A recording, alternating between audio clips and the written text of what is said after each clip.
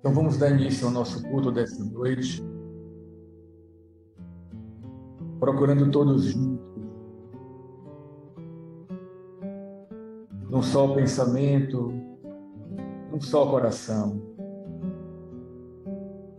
buscarmos a presença do Cristo Jesus, este amigo divino, nosso Pai espiritual, pastor de nossas almas, sol eterno,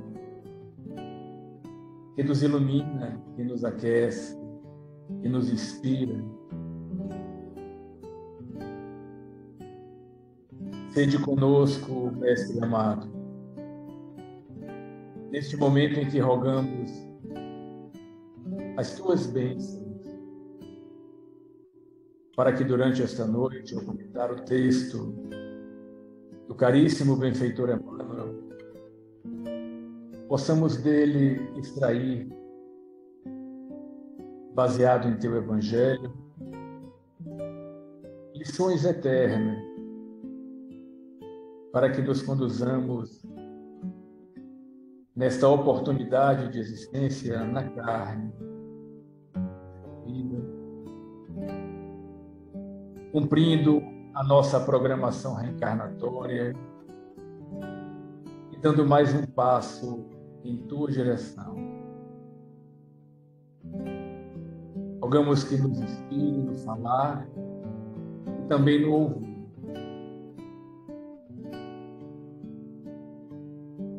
Os teus instrutores abnegados, aqui já presentes,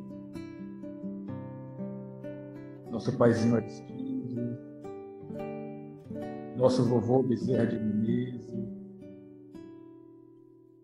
nossa irmãzinha Sheila, nosso pai Jacó, em nome de todos os demais. Possam tocar os nossos corações, para que eles se abram a escuta da vossa mensagem. Assim, Mestre, com a tua permissão, com a tua proteção e a tua inspiração, iniciamos o nosso culto desta noite, rogando paz e bem para toda a humanidade, em teu santíssimo nome, Senhor. E assim seja.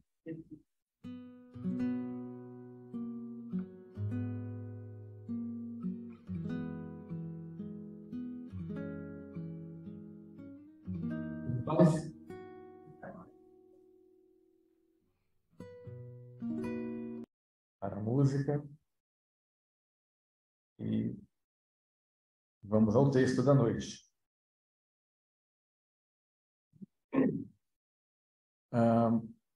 Capítulo 11 do, do livro Ceifa de Luz, ditado por Emmanuel a Chico, cujo título é A Riqueza Real. E ele é baseado no versículo 19 do capítulo 4 da Epístola de Paulo aos Filipenses, onde Paulo escreve assim: Porque o meu Deus, segundo as suas riquezas, suprirá todas as vossas necessidades. E nos comenta então o benfeitor. Cada criatura transporta em si mesma os valores que amealha na vida. Os sábios, por onde transitam, conduzem no espírito os tesouros do conhecimento.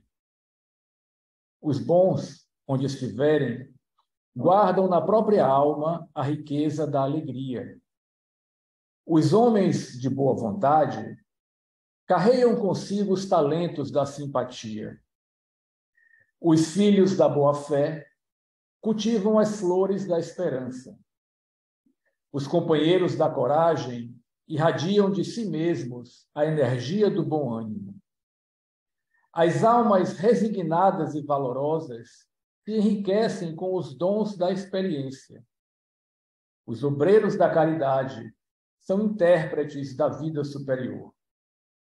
A riqueza real é atributo da alma eterna e permanece incorruptível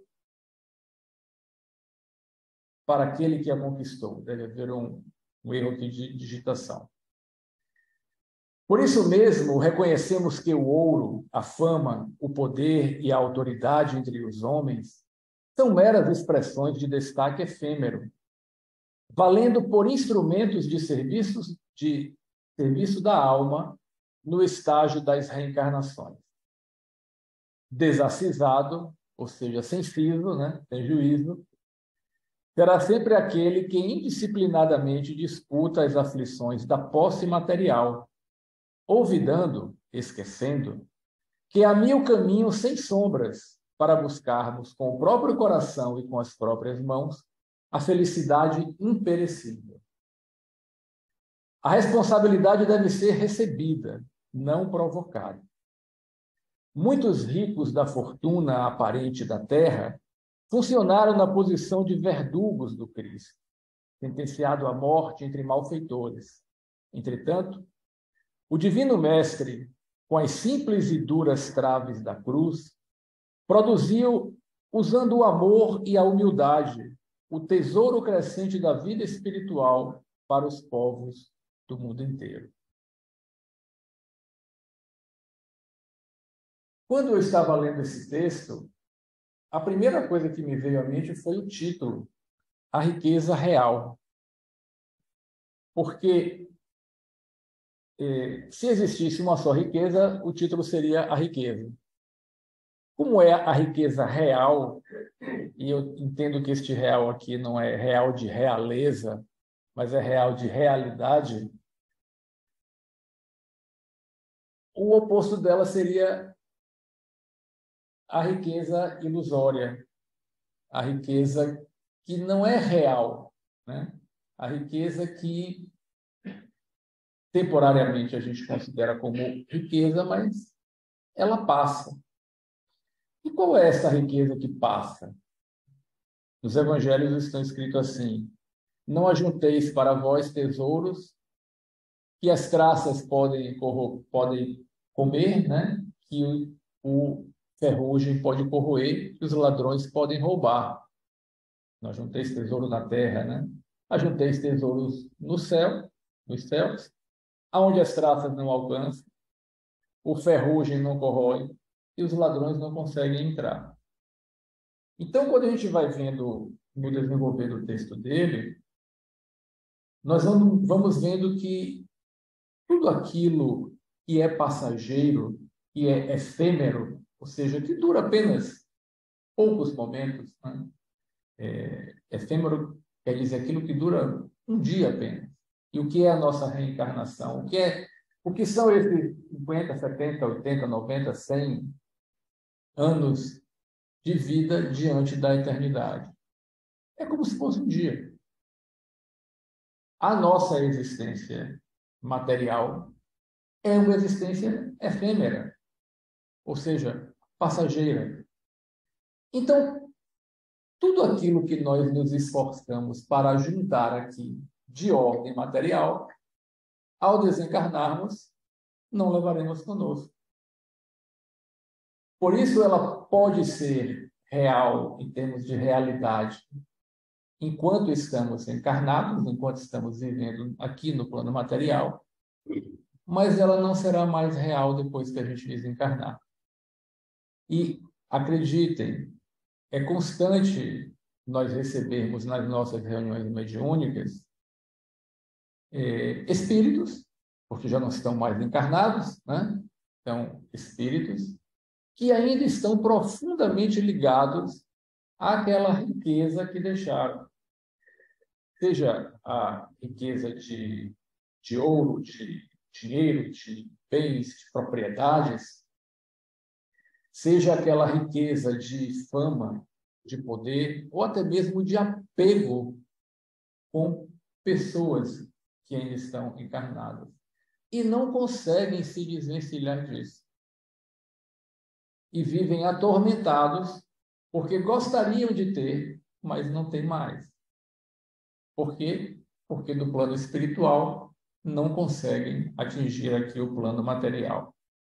E é interessante que Emmanuel, na primeira frase dele, ele diz que cada um de nós transporta em nós mesmos valores que amealhamos na vida. Eu achei esse termo perfeito, porque amealhar de mialheiro, os mais jovens talvez não saibam que é mialheiro. Né? Mas aquilo que a gente colocava moeda por moeda, um porquinho, né, Su? Então, o mialheiro de amealhar, mealhas, de juntar mealhas aos poucos. Porque esta riqueza real, é, apesar dela estar em nós potencialmente, porque enquanto centelhas divinas que somos, nós temos toda esta riqueza em nós mesmos, mas ela está em estado potencial. É preciso que ela seja realizada. E esse é um esforço que ele é pessoal e intransferível. A gente pode ter o outro como um professor, como alguém que nos ajuda, que nos estimula, que nos ensina, que nos exemplifica. Cristo, né? Jesus, é nosso modelo, é nosso guia, modelo para ser copiado, guia para ser seguido. Mas ele não pode realizar esse potencial por nós. Então, mais uma vez fazendo aquela metáfora da semente. Numa sementinha, de uma árvore frondosa, a árvore está contida toda nela ali. Porém, a gente precisa colocar ela debaixo da terra ou dentro da terra, para que ela, com o esforço próprio, e este esforço, ele é natural de cada um de nós, porque nós estamos submetidos, todos nós, tudo que existe, está submetido à lei do progresso, graças a Deus. Então, tudo que existe, existe para progredir. Então, esse mesmo esforço que a semente faz para romper o seu perisperma e, e ali, então, ter toda aquela dificuldade de vencer a resistência da terra, de deitar raízes, de extrair do solo os nutrientes, a água, os sais minerais necessários e suficientes para que ela cresça e realize o seu potencial de se tornar uma árvore imensa, dando frutos, dando sombra, transformando o, o é, CO2 em oxigênio para nós respirarmos, ou seja, servindo, este mesmo esforço cabe a nós. Nós, enquanto centelhas divinas, somos enterrados na, no corpo, no mundo material. Do mesmo jeito.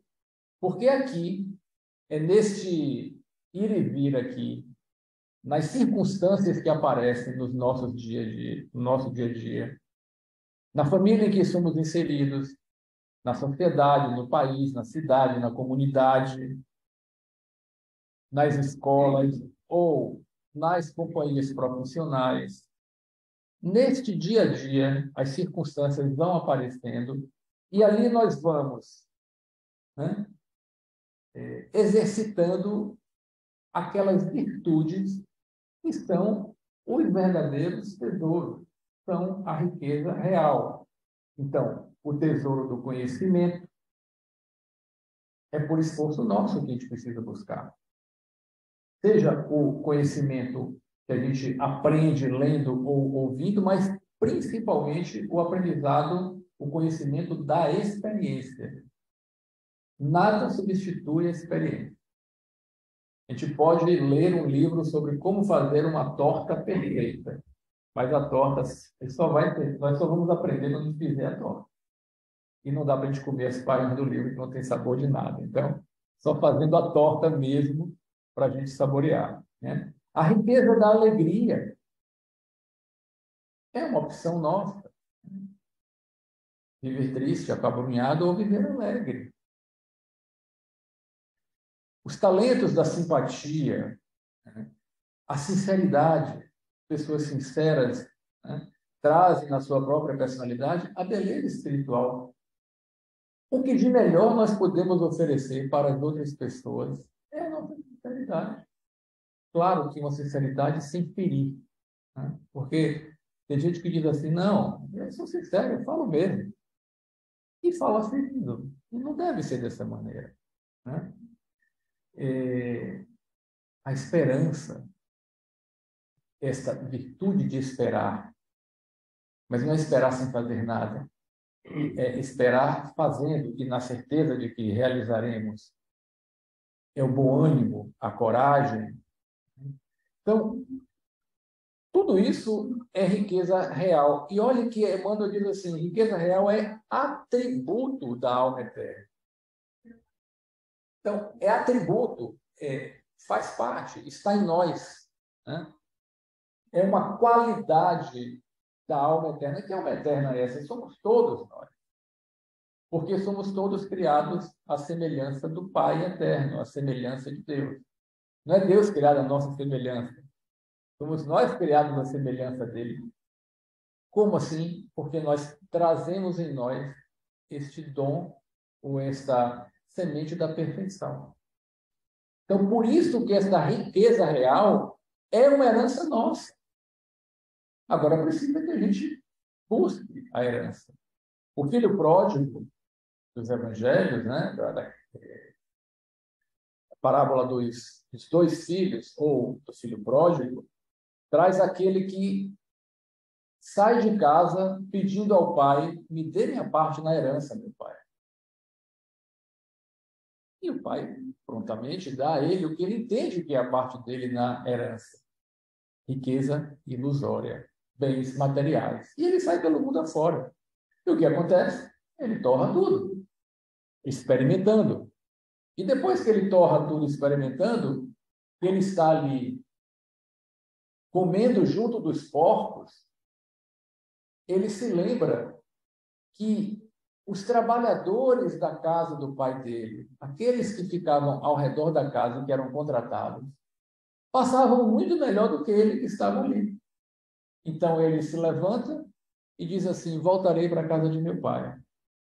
E pedirei, não como filho, que não tenho mais direito, a cabeça dele, né? Voltarei e pedirei que ele me contrate como trabalhador. Eu, pelo menos, teria uma vida mais digna do que eu estou tendo aqui agora. E diz a parábola que mal filho está a meio caminho da casa e o pai corre e toma ele nos braços e enche de beijos. Né? E, e dá uma festa. Porque o filho voltou. E pede o anel para o filho, a túnica do filho, a sandália do filho. O outro filho, que ficou em casa servindo ao pai, fielmente, entre aspas, fica um arara. Fica de birra. E o pai lhe pergunta: por que isso fez meu pai? Eu fiquei aqui o tempo inteiro lhe servindo. E este daí que saiu pela vida, volta agora e o Senhor dá uma festa para ele? Justamente.